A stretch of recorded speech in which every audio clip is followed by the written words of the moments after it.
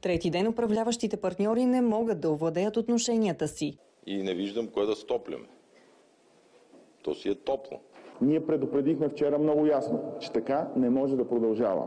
От Продължаваме промяната Демократична България дори отказаха да влязат в пленарната зала, въпреки че ще тече първо изслушване на техния премиер.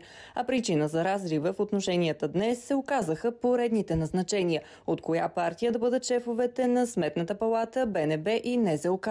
Три регулатора – Сметна палата, БНБ и Здравната каса бяха вкарани в комисия.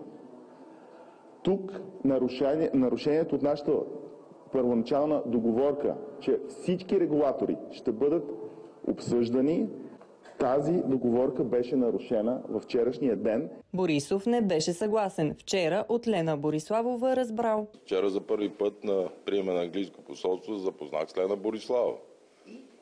И разбрах, нали, истинските намерения. И какви са те?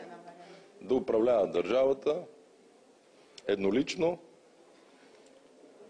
както парламента, както законодателната власт, регулаторните органи.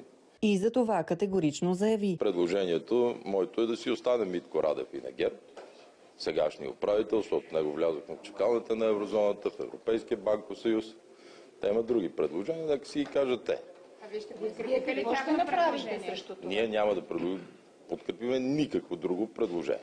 Заради зачесилите раздори между управляващите, Борисов прогнозира. Дали никой от вас не се съмнява, че ротация няма да? Христо Иванов предупреди. Ще има ротация, ако правителството е правителство на реформите. Ние към това сме се ангажирали и със сигурност ще си спазим ангажиментите. Борисов заяви, че няма да сваля правителството, а на този фон групата на Продължаваме промяната Демократична България се събира да обсъжда как и дали ще могат да продължат да управляват заедно с ГЕРБ.